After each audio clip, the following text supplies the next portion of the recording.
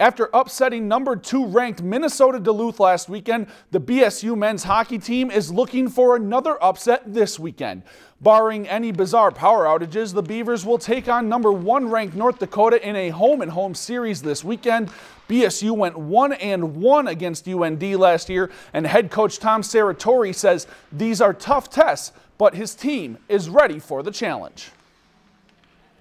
There's no question these are challenging uh, games for us, uh, for anybody for that matter.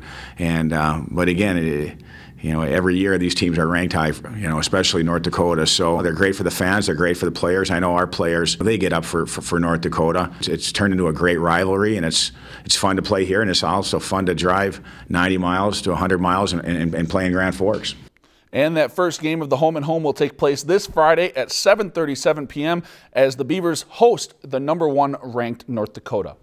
If you've enjoyed this segment of Lakeland News, please consider making a tax-deductible contribution to Lakeland Public Television.